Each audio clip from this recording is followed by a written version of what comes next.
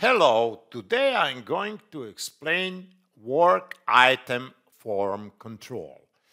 Uh, and for that purpose, I will open my ERP project, okay, and when I open it, I will go to boards. Today I will not explain the differences and how can you structure your boards here, but I will talk about work item form control. So no matter in which uh, uh, particular screen are you when you are in backlog screen, are you in boards, in backlogs, in sprints or work items, uh, when you open an item, you will have a form control. So let's go to backlogs. Okay, now you will see that in my backlogs, I have payrolls and epics uh, uh, and uh, billing epics. Let me open payrolls. Under payrolls, I have payroll for domestic and foreign employees. When I open payroll for uh, domestic employees, I have one user story and I have some of screens. So let's open one epic, payrolls epic. For do that, I will right click and I will say open link in new tab. I can directly click here, but I want to show you what happens in a new tab. The same thing, of course, but let me show you.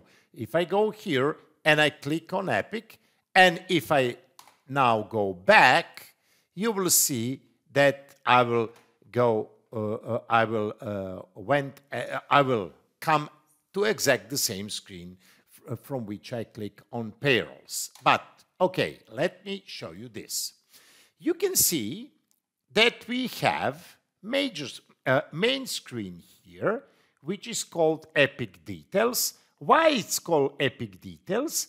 Because I modified this in, uh, in a way that it shows epic details. Let me show you here. If I go, for example, in feature, in another tab, okay, it will be you will see here after it loaded feature details. And to see how to modify those, you should look at my video in my video uh, at my video which is number 9 how to modify item layout in a project. Okay, let's go to Epic.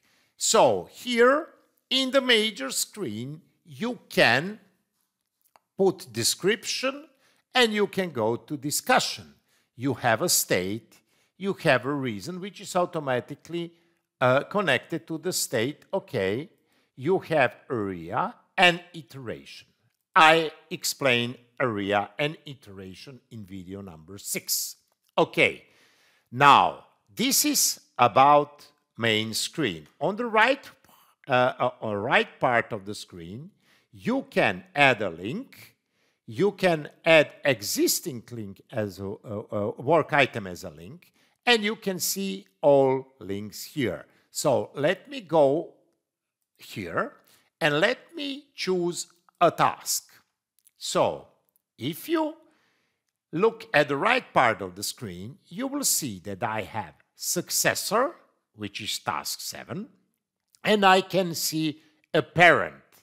If I click on the user story, okay, you will see that I have parent for this user story and I have childs.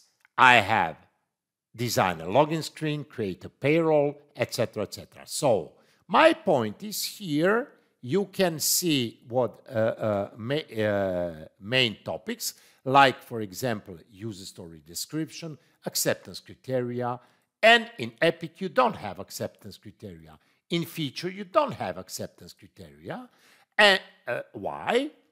Because by default, they are not there, but you can always add a field in this main screen. And it was also, uh, also explained in video number nine, how to modify item layout in a project. So this is the main main screen. And if you follow my series of video, you are uh, you're pretty familiar with that. You will see that on the right part of the uh, uh, uh, upper right part, I have few more tabs. One tab is history. So in history, you will see what happens in history. So Nenad, at 17th of May, I added work uh, item as a child, okay?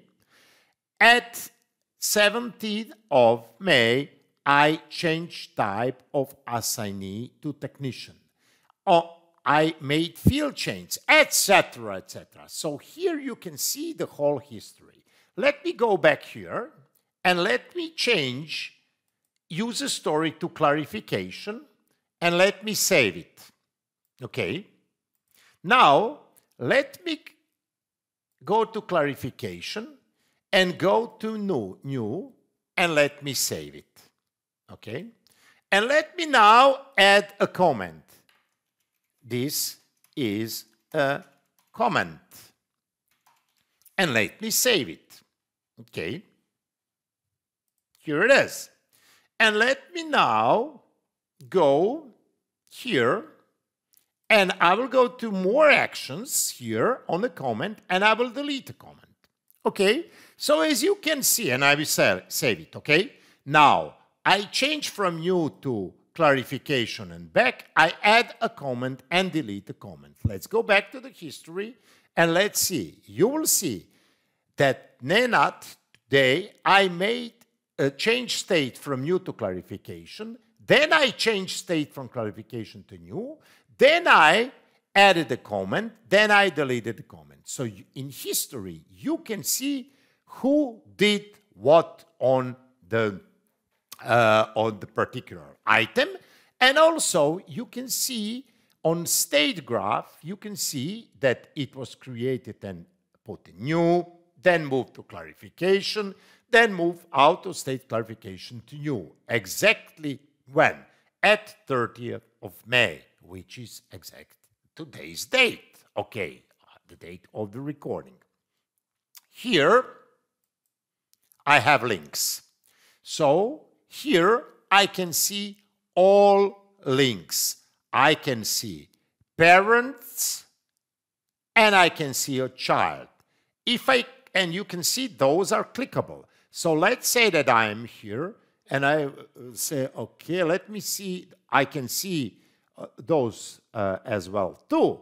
But this is the screen for the links dedicated to this link, uh, to, to uh, existing links. So I can, let's say, go here and click on test on login application and I will go directly to this link. Now I'm going to uh, go back. What I can do here directly, I can add a link.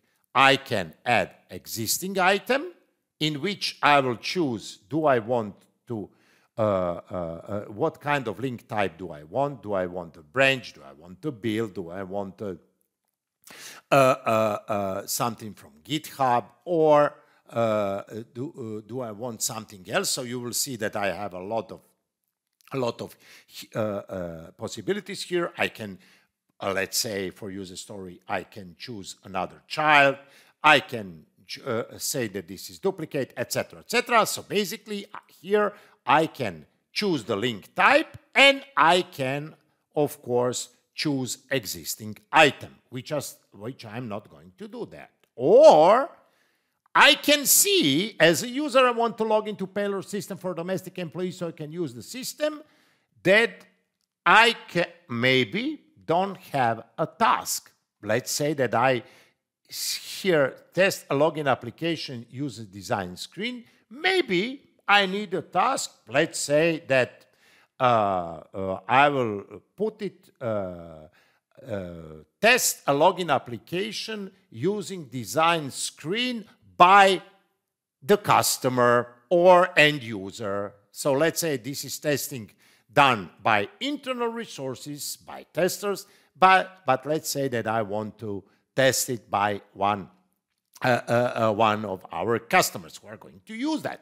I can go here and I will say new item you will see I am using a child type, okay, eh, because it is what I want, but I can also change it, which I, I'm not going to, no, sorry, which I'm not going to do, okay, child, and I will say that this will be called test a login application by end user using designed screen. Okay, and of course, this is not application, this is application. If I click on OK, I will get a brand new screen, and in that screen, I should put everything what is required. User story, this is new user story, user story description, acceptance criteria, etc., etc. But I'm not going to do that because I will leave it because obviously I created something which is called a link. And I will, when I said new link, you see that I created user story. What I should do is created a task. I'm not going to do that, but I will show you. So let's say this is test. I will not going to save it, so who cares? Now, you will see this is task, and I have to make uh, put here task description. Okay, if I don't want to do it, I will leave it and okay, sorry, leave it, leave it, go away. So here you can add links uh, from existing items and also from uh, uh, to uh, uh, uh, you can add a link creating new item. And once again, with this new item, you can choose what kind of item do you want to create as a, for example, child? Bug epic. So basically, if in, we are in user story, if we are going to create a parent, we are going to create a feature. If we are going to uh, uh, create a, a child, we are going to create task. And last but not least, here you can see attachment. So here you can add attachment. So maybe some documentation, maybe some other thing so let me show you how to do it. So let's say, now I will close this one and this one, and I'm going to go back here, go back here, and let's say that I have here design a login screen and that I want to put attachment for this login screen. So I'm going to go here. I will add an attachment and I will go here, I will use my login screen, and here you can see login screen APG. If I, if I click on it, it will be opened. Okay, so you can put any number of document which you want. You can have them arranged by, by this way, like thumbnail, uh, uh thumbnail view, or you can have it in list view. So basically, that's it. Or it isn't. Let's go here.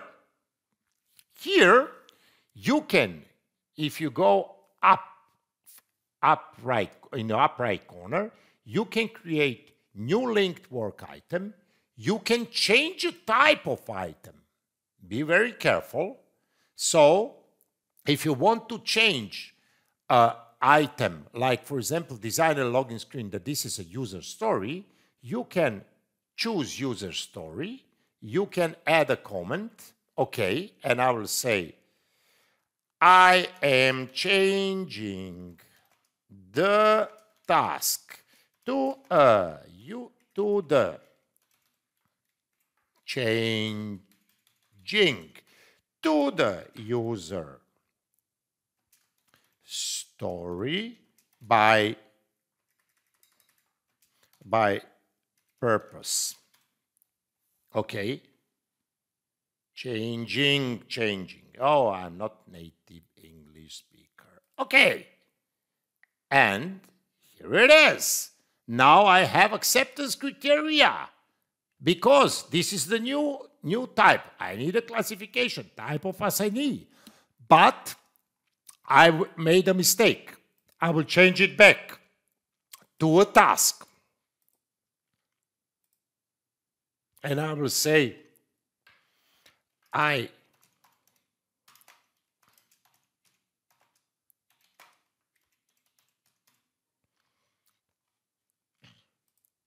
So here it is. What do we have? It is task again. Okay, that's what we have.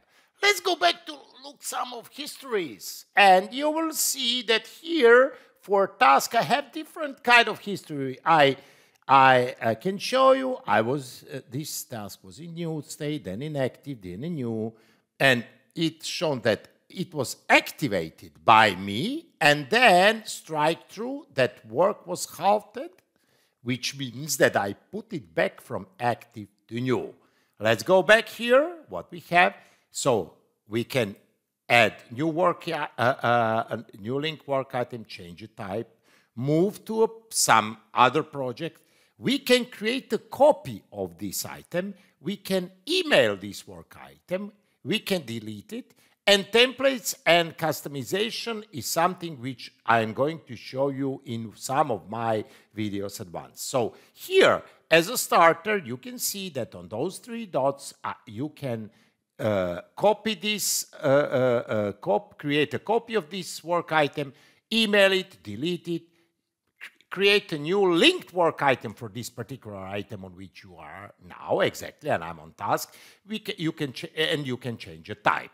So basically, there's a lot of things you can do uh, uh, uh, for uh, for item in item form uh, in which you are, and all they are same. So each and every item, no matter if this is user story task, bug, or feature has detail screen, it has history screen, it has link screen, it has uh, attachment screen, and here you can do the same things with each and every item type, except the first details, which is and should be different because you will not require or have same information for user story, for task, for feature, etc., etc. To show you that, eh, and this is the real end, you will see that for user story, we need user story description and acceptance criteria. criteria.